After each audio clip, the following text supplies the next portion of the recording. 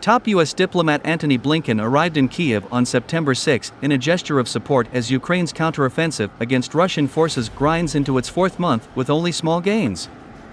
During his two day visit, staying overnight in Ukraine for the first time since before Russia's February 2022 invasion, Blinken will likely announce a new package of U.S. assistance worth more than $1 billion, a senior State Department official said in a briefing for reporters on the trip.